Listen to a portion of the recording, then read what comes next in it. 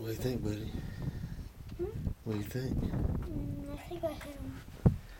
You think you hit him? Mm-hmm. We'll go find him here in a few.